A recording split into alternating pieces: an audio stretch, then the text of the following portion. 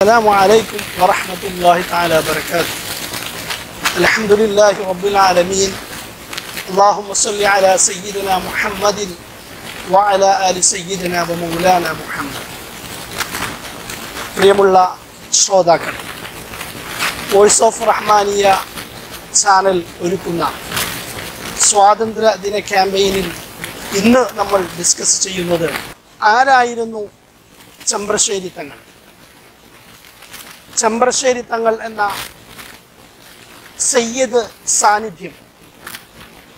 British വിരുദ്ധ പോരാട്ട ചരിത്രത്തിലെ സയ്യിദ് സാന്നിധ്യം എത്രത്തോളം മലബാർ പോരാട്ടങ്ങളെയും അനുബന്ധ പോരാട്ടങ്ങളെയും സ്വാധീനിച്ചു എന്ന് നമുക്ക് വളരെ കുറഞ്ഞ സമയത്തിനുള്ളിൽ വിലയിരുത്താൻ എന്ന് ആഗ്രഹിക്കുകയാണ്. ചെമ്പ്രശ്ശേരി തങ്ങളുടെ ജീവിതവും ബ്രിട്ടീഷ് വിരുദ്ധ പോരാട്ട ചരിത്രത്തിൽ ചെമ്പ്രശ്ശേരി തങ്ങൾ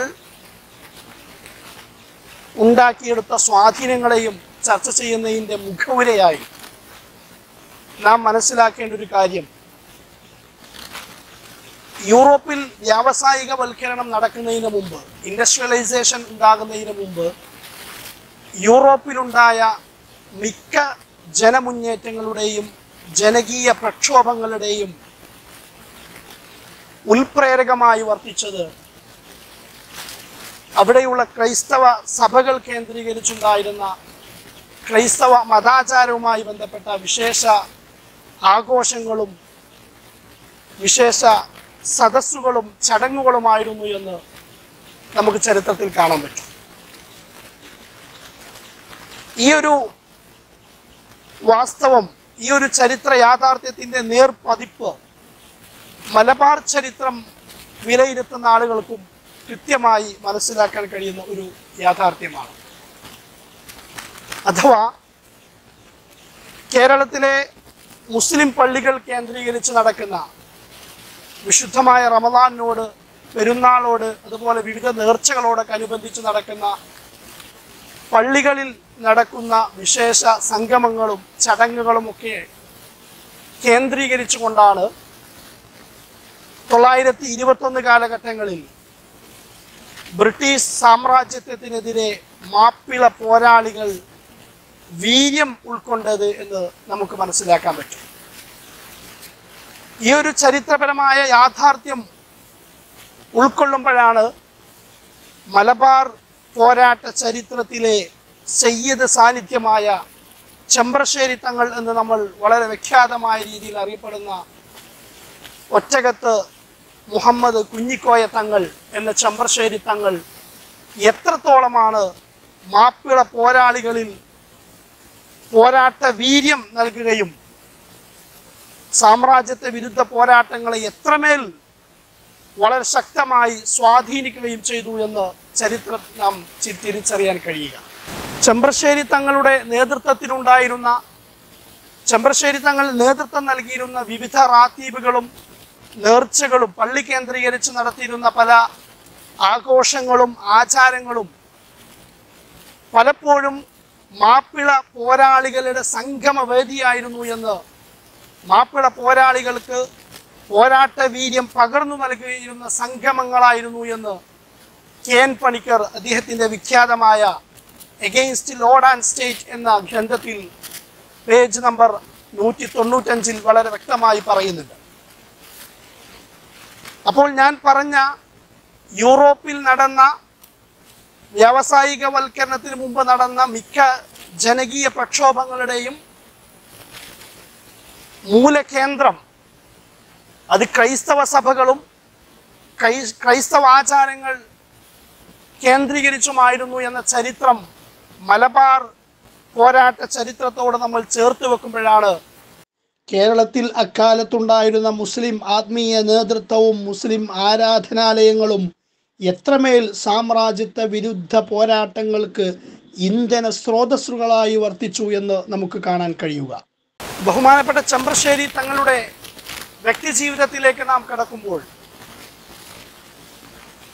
പാണ്ടിക്കാടിനടുത്ത ചെമ്പ്രശ്ശേരി എന്ന നാട്ടുഗ്രാമത്തിലായിരുന്നു ചെമ്പ്രശ്ശേരി തങ്ങളുടെ ജീവിതവും പോരാട്ടവുമെല്ലാം നടന്നിരുന്നത്. ക്രിസ്താബ്ദം ആയിരത്തി എണ്ണൂറ്റി എഴുപത്തി അഞ്ചിൽ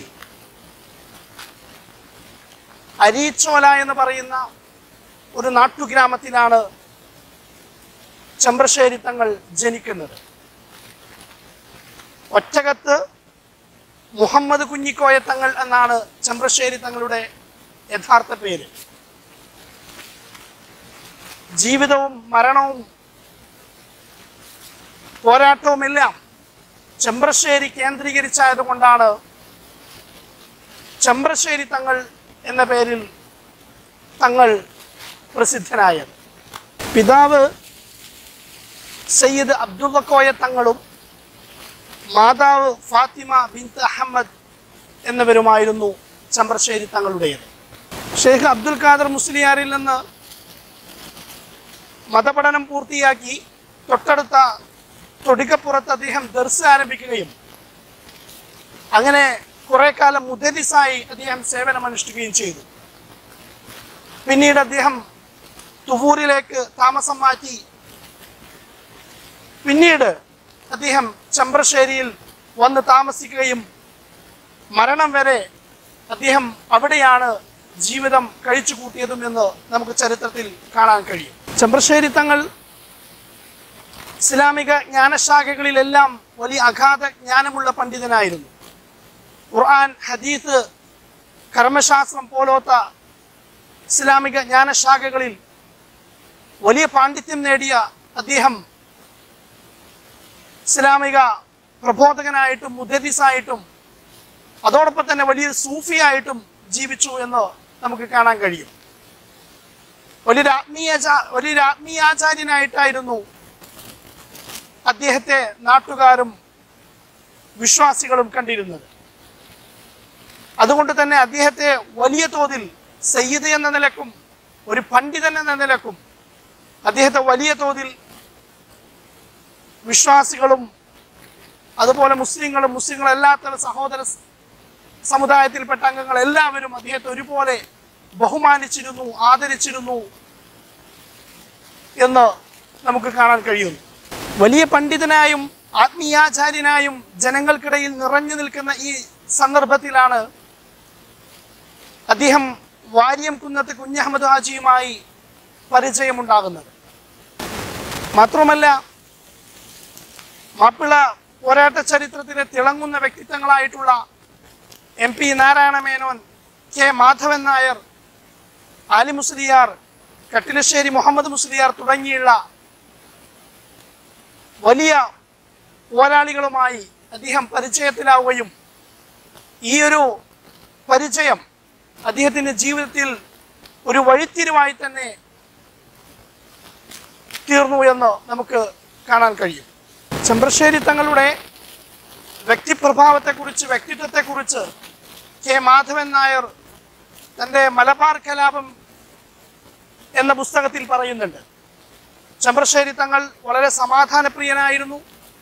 നാനാജാതികളോടും വളരെ സൗഹൃദത്തോടുകൂടെ അനുകമ്പയോടുകൂടെ വർത്തിക്കുന്ന ഒരു മനുഷ്യനായിരുന്നു. അതുപോലെ വളരെ വളരെ നല്ല ആകാര സൗന്ദര്യവും ഒക്കെയുള്ള വലിയ പൊക്കമുള്ള മനുഷ്യനായിരുന്നു. വളരെ എല്ലാവരെയും ആകർഷിക്കുന്ന ശരീരാകൃതിയുള്ള വ്യക്തിയായിരുന്നു എന്ന് അദ്ദേഹം തന്റെ പുസ്തകത്തിൽ കുറിച്ചിരുന്നത് കാണും. ആയിരത്തി തൊള്ളായിരത്തി ഇരുപത്തൊന്നിലെ പ്രക്ഷുബ്ധമായ രാഷ്ട്രീയ സാഹചര്യം പരിശോധിക്കുമ്പോൾ അവിടെ കൃത്യമായി ചമ്രശ്ശേരി തങ്ങളുടെ ഇടപെടൽ നമുക്ക് കാണാൻ കഴിയും. ഖിലാഫത്ത് നേതാക്കളും ബ്രിട്ടീഷ് അധികാരികളും മലബാറിന്റെ വിവിധ ഭാഗങ്ങളിൽ ഏറ്റുമുട്ടൽ നടത്തിക്കൊണ്ടിരിക്കുന്ന സന്ദർഭം.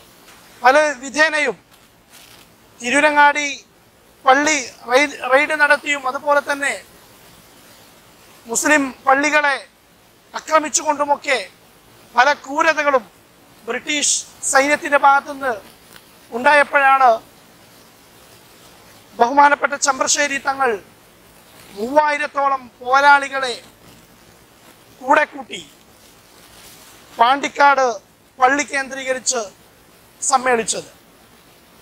മാപ്പിളമാരുടെ അസ്തിത്വവും നിലനിൽപ്പും ചോദ്യം ചെയ്യപ്പെടുന്നു എന്ന ഘട്ടമെത്തിയപ്പോഴാണ് ചെമ്പ്രശ്ശേരി തങ്ങൾ ബ്രിട്ടീഷ് സൈന്യത്തിനെതിരെ സായുധമായ ഒരു നീക്കത്തിലേക്ക്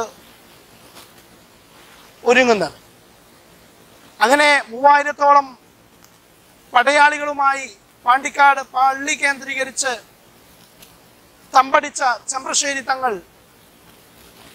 പോലീസ് സ്റ്റേഷനുകളും അതുപോലെ സർക്കാർ സ്ഥാപനങ്ങളും ഒക്കെ ആക്രമിക്കുകയും ചെക്ക് പോസ്റ്റുകളും അതുപോലെ മറ്റു സർക്കാർ സ്ഥാപനങ്ങളിലുമുള്ള രേഖകളൊക്കെ നശിപ്പിക്കുകയും ചെയ്തു. മാത്രമല്ല ബ്രിട്ടീഷ് സൈന്യത്തിന്റെ കടന്നുവരവ് തടയിടാനായി മഞ്ചേരി പാണ്ടിക്കാട് ബന്ധിപ്പിക്കുന്ന പാലം തകർക്കുകയും ചെയ്തു. അതോടുകൂടെ ബ്രിട്ടീഷ് സൈന്യത്തിന് പിന്മാറേണ്ടി വരികയും വളരെ നല്ല രീതിയിൽ മാപ്പിള പോരാളികൾ വിജയത്തിന്റെ വെന്നിക്കൊടി പാറിച്ചു എന്ന് നമുക്ക് മനസ്സിലാക്കാൻ കഴിയും. ഇങ്ങനെ നിരവധി പോരാട്ടങ്ങളിൽ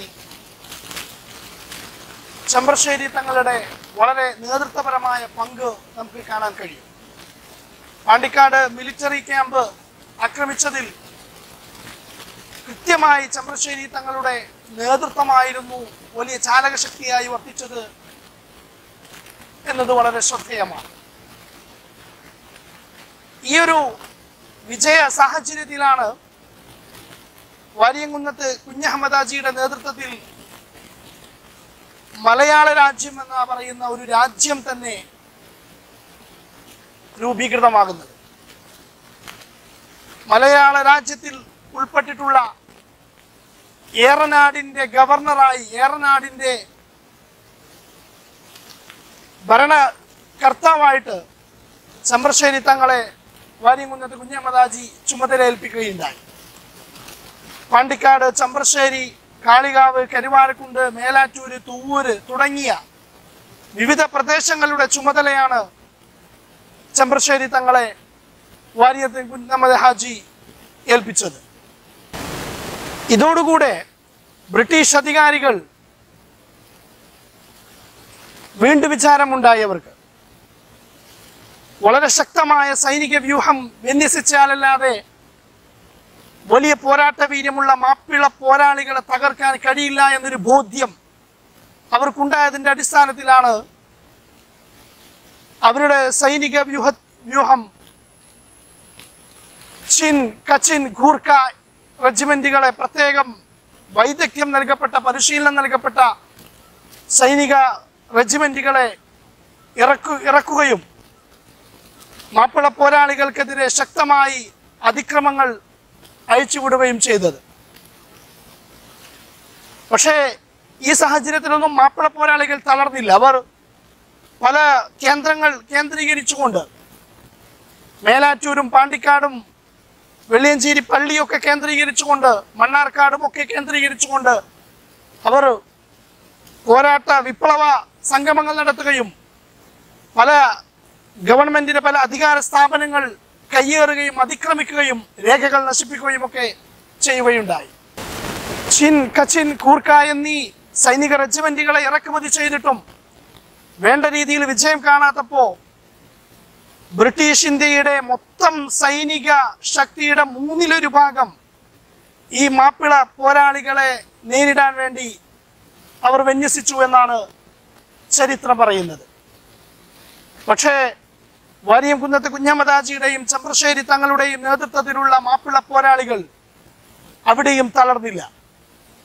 എത്രത്തോളം എന്ന് വെച്ചാൽ പെരിന്തൽമണ്ണയും അതുപോലെ മർണാർക്കാടും കേന്ദ്രീകരിച്ച് വലിയ വിദഗ്ധരായ സൈനിക വ്യൂഹത്തെ വിന്യസിച്ചുവെങ്കിലും വലിയ മിലിറ്ററി ക്യാമ്പുകളൊക്കെ ആക്രമിക്കാൻ വലിയ വൈദഗ്ധ്യമുള്ള ചമ്പ്രശ്ശേരി തങ്ങളുടെ നേതൃത്വത്തിലുള്ള മാപ്പിള പടയാളികളെ തോൽപ്പിക്കാൻ അവർക്ക് കഴിഞ്ഞില്ല എന്നാണ് നാം ചരിത്രത്തിൽ കാണുന്നത്. ഇങ്ങനെ മലബാറിൽ ബ്രിട്ടീഷുകാർക്ക് നേരിട്ട് കൊണ്ടിരിക്കുന്ന ശക്തമായ തിരിച്ചടി ലോകശ്രദ്ധ നേടുകയും മലബാറിൽ ബ്രിട്ടീഷുകാർക്ക് ഇനി ഇടമില്ല എന്ന് ലണ്ടൻ ടൈംസ് അടക്കമുള്ള പ്രമുഖ പത്രങ്ങൾ എഴുതുകയും ചെയ്തപ്പോഴാണ് ബ്രിട്ടീഷുകാർ പുതിയ തന്ത്രവുമായി രംഗത്ത് വരുന്നത്. മാപ്പിള പോരാളികളുടെ പോരാട്ട വീര്യം കെടുത്താൻ അവരെ ഭിന്നിപ്പിക്കുക എന്നതാണ് ഏറ്റവും വലിയ ഉപാധി എന്നവർ മനസ്സിലാക്കി. അങ്ങനെ ഈ ഖിലാഫത്ത് പ്രസ്ഥാനവും മാപ്പിള പോരാട്ട കൂട്ടായ്മയെല്ലാം തികച്ചും വർഗീയമാണെന്നും വർഗീയ പോരാട്ടമാണ് ഇവിടെ നടക്കുന്നതെന്ന് എല്ലാം പറഞ്ഞ് അവർ കിംവദന്തികൾ പ്രചരിപ്പിച്ചു. മാത്രമല്ല മുസ്ലിം പ്രമാണികളെയും ഹൈന്ദവ ജന്മിമാരെയും അധികാരികളെയും ഒക്കെ സ്വാധീനിച്ചുകൊണ്ട് അവർക്ക് അനുകൂലമായി നിലപാട് സ്വീകരിക്കുന്ന ഒറ്റുകാരെ ബ്രിട്ടീഷുകാർ പാലും വെള്ളവും നൽകി വളർത്തി വലുതാക്കി. അങ്ങനെ മാപ്പിള പോരാ പോരാളികളുടെ എല്ലാ നീക്കവും ബ്രിട്ടീഷുകാർ ഈ ഒറ്റുകാരിലൂടെ മണത്തറിയുകയും അത് തുടക്കത്തിലെ മുളയിലെ നുള്ളിക്കളയാനുള്ള എല്ലാ ശ്രമങ്ങളും പിന്നീട് അവർ ആരംഭിച്ചു എന്നാണ് വളരെ ഖേദകരമായ ചരിത്രത്തിന്റെ ഏടുകളിൽ നിന്ന് നമുക്ക് മനസ്സിലാക്കാൻ കഴിയുന്നത്. ഇതോടുകൂടെ മാപ്പിളച്ചേരി ക്ഷയിച്ചു തുടങ്ങി. കലാപത്തിന് പോരാട്ടത്തിന് ആളും ആയുധവും ലഭിക്കാൻ ലഭിക്കാത്ത അവസ്ഥ വന്നു. കൂട്ടായ്മയെല്ലാം ഛിന്ന ഭിന്നമായി ചെറു ചെറു സംഘങ്ങളായി തിരികെയാണ് പിന്നീടുണ്ടായത്. പക്ഷേ അപ്പോഴും ചമ്പ്രശ്ശേരി തങ്ങൾ തന്റെ പോരാട്ട വീര്യം കൈവിട്ടില്ല. അദ്ദേഹം ഈ ചെറു സംഘങ്ങളെയെല്ലാം കത്തയക്കുകയും അവരെയെല്ലാം സംഗമിപ്പിക്കുകയും ചെയ്തു. അദ്ദേഹം ഈ കത്തിലൂടെ ആവശ്യപ്പെട്ടത് മമ്പുറം മക്കാം സന്ദർശിക്കുകയും അവിടെ പ്രാർത്ഥന നടത്തി നമുക്കൊരു ബ്രിട്ടീഷ് ഇന്ത്യക്കെതിരെ ഒരു അന്തിമ പോരാട്ടം നടത്തണമെന്ന് അദ്ദേഹം കാഹളം മുഴക്കുകയും ചെയ്തു. പക്ഷേ അത് ബ്രിട്ടീഷുകാർ പാലും വെള്ളവും കൊടുത്തു വളർത്തിയ ഈ ഒറ്റുകാരിലൂടെ ബ്രിട്ടീഷുകാർ മാപ്പിള പോരാളികളുടെ ഈ പദ്ധതി മണത്തറിയുകയും അങ്ങനെ ഈ മാപ്പിള പോരാളികളെ ഉപരോധത്തിലാക്കി അവർക്ക് ഭക്ഷണവും വെള്ളവും നിഷേധിച്ച് അവരുടെ ശക്തി ക്ഷയിപ്പിച്ചു എന്നാണ് ചരിത്രത്തിൽ പിന്നീട് നമ്മൾ വായിക്കുന്നത്. ഉപരോധത്തിലായ ചമ്പ്രശ്ശേരി തങ്ങളും മാപ്പിള പോരാളികളും ഈ സാഹചര്യത്തിൽ ചമ്പ്രശ്ശേരി തങ്ങൾ ബ്രിട്ടീഷ് അധികാരികൾക്ക് ഒരു കത്തെഴുതി നിങ്ങൾ സ്ത്രീകളെയും കുട്ടികളെയും ജാതിയുടെയും വർഗത്തിന്റെയും പേരിൽ ക്രൂശിക്കുകയാണെന്നും നിങ്ങൾ ചെയ്യുന്ന പീഡനങ്ങളൊക്കെ അവസാനിപ്പിക്കണമെന്നും ഇതെല്ലാം അവസാനിപ്പിക്കുകയാണെങ്കിൽ പോരാളികൾ സന്ധിക്ക് തയ്യാറാണെന്നും പറഞ്ഞുകൊണ്ടായിരുന്നു ആ കത്ത്. എന്നാൽ ബ്രിട്ടീഷ് സൈന്യം തങ്ങൾ നടത്തിയ എല്ലാ ചെയ്തികളെയും ന്യായീകരിക്കുകയാണ് ചെയ്തത്. അതോടൊപ്പം തന്നെ ചമ്പ്രശ്ശേരി തങ്ങളും പോരാളികളും നടത്തുന്ന ഈ അതിക്രമങ്ങളും പോരാട്ടങ്ങളും നിർത്തുകയാണെങ്കിൽ ബ്രിട്ടീഷ് സൈന്യവും നിർത്താൻ തയ്യാറാണ് എന്ന് അവർ തിരിച്ചു മറുപടി നൽകുകയും ചെയ്തു. അങ്ങനെ ചമ്പ്രശ്ശേരി തങ്ങളുടെ വലം കൈയായിരുന്ന കോശ്ശേരി മമ്മദ് എന്ന് പറയുന്ന വ്യക്തിയെ സ്വാധീനിക്കുകയും അദ്ദേഹത്തോട് ചമ്രശ്ശേരി തങ്ങളെയും കൂട്ടി മേലാറ്റൂർ പോലീസ് സ്റ്റേഷനിലേക്ക് സന്ധി ചർച്ചയ്ക്കായി വരാൻ ആവശ്യപ്പെടുകയും ചെയ്തു. പക്ഷേ ഇത് ബ്രിട്ടീഷ് സൈന്യത്തിന്റെ കൃത്യമായ ചതിപ്രയോഗമായിരുന്നു എന്ന് പിന്നീട് നാം കാണുന്നു. ഒളിച്ചിരുന്നൊരു സംഘം. ചെമ്പ്രശ്ശേരി തങ്ങളെയും കോശ്ശേരി മമ്മതി എന്നിവരെയും കീഴ്പ്പെടുത്തുകയും അവരെ വെട്ടത്തൂർ സബ് സ്റ്റേഷനിലേക്ക് സബ് ഇൻസ്പെക്ടറുടെ മുമ്പിൽ ഹാജരാക്കുകയും ചെയ്തു. ആയിരത്തി തൊള്ളായിരത്തി ഇരുപത്തി ഒന്ന് ഡിസംബർ പത്തൊമ്പതിനാണ് ഈ ചതിപ്രയോഗത്തിലൂടെ വെട്ടത്തൂർ സബ് ഇൻസ്പെക്ടറുടെ മുന്നിൽ ഹാജരാക്കിയതും അവിടെ വെച്ച് തങ്ങളെയും കോശ്ശേരി മമ്മദിയെയും അറസ്റ്റ് ചെയ്യുന്നത്. പിന്നീട് അറസ്റ്റ് ചെയ്ത് യുദ്ധക്കോടതിയിൽ വിചാരണയ്ക്ക് വിധേയമാക്കുകയും അങ്ങനെ ആയിരത്തി തൊള്ളായിരത്തി ഇരുപത്തിരണ്ട് ജനുവരി ഒമ്പതിന് ചമ്പ്രശ്ശേരി തങ്ങളെ ബ്രിട്ടീഷ് സൈന്യം വെടിവെച്ചു കൊന്നു എന്നാണ് നാം ചരിത്രത്തിൽ വായിക്കുന്നത്. ചെമ്പ്രശ്ശേരി തങ്ങളുടെ ജീവിതം അടിമുടി വിലയിരുത്തുമ്പോൾ ആയിരത്തി എണ്ണൂറ്റി എഴുപത്തഞ്ചിൽ ജനിച്ച് ആയിരത്തി തൊള്ളായിരത്തി ഇരുപത്തി രണ്ടിൽ ജീവിതം അവസാനിക്കുന്ന വെറും നാൽപ്പത്തേഴ് വർഷം മാത്രം ജീവിച്ച വലിയൊരു പോരാളിയുടെ ഒരു ചരിത്രമാണ് നമുക്ക് മനസ്സിലാക്കാൻ കഴിയുന്നത്. മലബാർ കലാപകാലത്തെ സയ്യിദ് ആക്ടിവിസത്തിന്റെ ഏറ്റവും മഹിതമായൊരു മാതൃകയായിരുന്നു ചെമ്പ്രശ്ശേരി തങ്ങളെന്ന് നമുക്ക് കൃത്യമായി പറയാൻ കഴിയും. ചെമ്പ്രശ്ശേരി തങ്ങളെന്ന ഒരു മതപണ്ഡിതൻ ഒരു ആത്മീയാചാര്യൻ തന്റെ ആധ്യാത്മികമായ വ്യക്തിപ്രഭാവം എങ്ങനെയാണ് സാമ്രാജ്യത്വ വിരുദ്ധ പോരാട്ടങ്ങൾക്ക് ഉപയോഗപ്പെടുത്തിയത് മതേതര കാഴ്ചപ്പാട് സമൂഹത്തിൽ ഉണ്ടാക്കിയെടുക്കാൻ ഉപയോഗിച്ചത് എന്ന് ചെമ്പ്രശ്ശേരി തങ്ങളുടെ ജീവിതത്തിലൂടെ നമുക്കിവിടെ കൃത്യമായി ബോധ്യപ്പെടുകയാണ്. ഒറ്റകത്ത് എന്ന വലിയ പണ്ഡിത തറവാട്ടിൽ ജനിച്ച ചെമ്പ്രശ്ശേരി തങ്ങൾ എന്ന ധീര യോദ്ധാവ്. അവസാനം ബ്രിട്ടീഷ് അധികാരികൾ അദ്ദേഹത്തിന്റെ ഭൗതിക ശരീരം എന്ത് ചെയ്തു എന്ന് ചരിത്രത്തിൽ അജ്ഞാതമാണെങ്കിലും ഇന്നും അദ്ദേഹത്തിന്റെ കബറിടം എവിടെയെന്ന് കൃത്യമായി നമുക്ക് മനസ്സിലാക്കാൻ കഴിയുന്നില്ലെങ്കിലും അദ്ദേഹത്തെക്കുറിച്ചുള്ള ധീരമായ ത്യാഗോജ്ജലമായ അദ്ദേഹത്തിന്റെ ഓർമ്മകൾ തീർച്ചയായും ഏത് ജനാധിപത്യ വിശ്വാസിക്കും മതേതര വിശ്വാസിക്കും എന്നും ഊർജമായിരിക്കും ഇന്ത്യയുടെ ഭാവി രാഷ്ട്രീയ സാഹചര്യങ്ങളിൽ അത് കെടാ വിളക്കാകുക തന്നെ ചെയ്യുമെന്ന് നമുക്ക് പ്രത്യാശിക്കാം. ഞാൻ നിർത്തുന്നു. വസ്സലാമു അലൈക്കും വറഹമത്തുള്ള.